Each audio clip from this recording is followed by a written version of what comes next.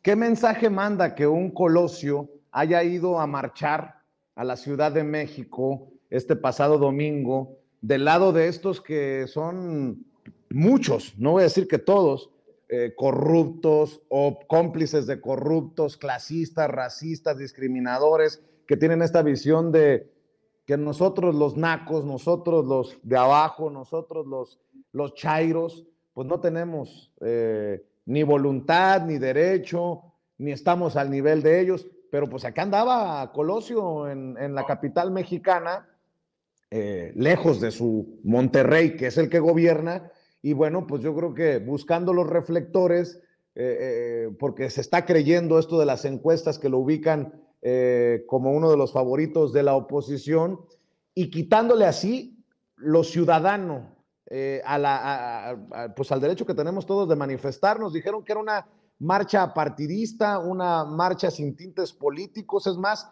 ni contra López Obrador era para defender al INE y ahí aparecieron todos estos personajes como Colosio. Así es, qué bueno que lo mencionas, Vicente, porque mira, se le ha pasado en todos lados menos gobernando Monterrey Colosio y es alguien que después de estar en Egipto, se pasó directamente a la Ciudad de México el domingo a estar ahí en, la marcha.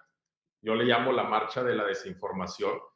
Y Samuel anda ahí en competencia con, con Colosio, con eh, su compañero de partido, para ver quién sale más de, el Estado. Porque se le han pasado, creo que en un año de gobierno, si mal no recuerdo, llevan alrededor de unas seis salidas del país, cinco o seis y pues Monterrey y Nuevo León tenemos muchísimos problemas y ellos se la pasan eh, en otros lados promoviendo temas que en concreto no se avanzan. Y te lo dice alguien, Vicente, que pues he estado muchos años eh, en el Senado, ahora en la Cámara de Diputados, y yo he visto cómo muchísimos eh, legisladores salen sin una agenda. O sea, si tú dices, bueno, voy a ir a un foro sobre cualquier tema, ponle cambio climático. Bueno, ten tu objetivo en mente, ¿qué quieres? Pues quiero sacar un presupuesto de este fondo para jalarlo a, estas cuestiones específicas. Bueno, ya vas con ese objetivo y vas y te regresas. No te quedas una semana o dos semanas.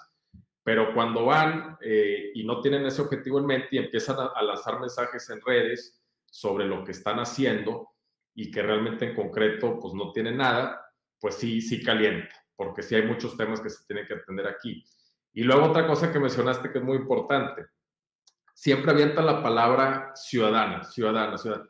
Son más políticos y grillos y pragmáticos que la fregada, pero avientan la palabra ciudadana para que muchos que no están eh, políticamente informados, que no es el caso con nuestra audiencia y con Morena, porque la militancia y simpatizantes estamos muy, muy informados de los temas públicos pero simpatizantes de otros partidos, no todos son malos, pero sí son muy desinformados y no se involucran realmente a conocer los temas. Entonces luego, luego escuchan ciudadano y dicen, ah, es que estos políticos no tienen nada que ver con lo anterior, con la época del PRI, del PAN, pues es parte de lo mismo. O sea, MC es el nuevo PAN. O sea, realmente están de la mano, eh, tienen eh, los mismos grupos que los mangonean, que mueven los hilos, pero se las dan de ciudadanos, se las dan de izquierda hasta de progresistas. O sea, navegan con la bandera de progresistas, pero son más conservadores que nada, y todos lo sabemos. Entonces, obviamente, pues eh, la gran parte de la ciudadanía, que eso es lo que a mí me, emociona mucho, de aquí a futuro, en una perspectiva a futuro, pues veo el futuro muy favorable, porque Morena va a seguir ganando, vamos a seguir avanzando en la cuarta transformación, porque ya la sociedad mexicana está politizada, ya la sociedad mexicana está informada y ya, eh, a diferencia de las épocas del PAN, del PRI, las épocas nefastas, nomás de acordarme en mis épocas de universitario, eh, cuando entró Calderón 2006, que era pues eh, un cementerio, el país y Nuevo León en específico fue la peor época de violencia y de inseguridad. Los delitos de alto impacto estaban, pero en su punto más alto. Nomás de acordarme de esa época donde un secretario de Seguridad Pública estaba eh, liderando los esfuerzos del narco en vez de combatiendo eh, la inseguridad, pues sí eh, da de cierta manera temor imaginarse de un escenario donde pudieran regresar. Pero al ver lo politizado que está la sociedad mexicana, pues sí veo que no, no van a regresar, por lo menos en las próximas décadas. Van a querer engañar y van a querer llegar partidos como MC a decir que son diferentes, que ellos, por ejemplo, Samuel García trae un lema, que adiós la vieja política. Pues, ¿cuál vieja política? Tú eres parte de eso. O sea, no, no quieras engañar a la ciudadanía. Es parte de una frivolidad, de una superficialidad, de aparentar y no ser. Eso es un grave problema. Eh, querer aparentar algo que no está siendo sincero. Y pues me recuerda ahorita que pasaste las imágenes eh, a lo que sucedió en el 2011-2012 con Peña Nieto y la Gaviota. La parejita eh, de ensueño, según ellos, porque son más frívolos que nada y todos vimos que era pues una novela. Nomás terminó el presidente Peña Nieto y se divorció de la Gaviota. Y pues en este caso vemos muchas similitudes de los mensajes que se mandan, de la manera de conducirse.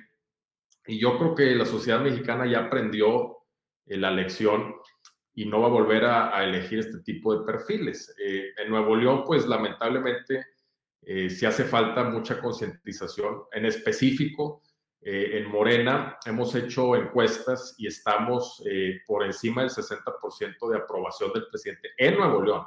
Eso es importante que se sepa porque muchos a nivel nacional ubican pues Guanajuato, Querétaro, Nuevo León, eh, Chihuahua como estados conservadores. No es cierto. O sea, sí tenemos una militancia muy activa, pero los esfuerzos están fragmentados.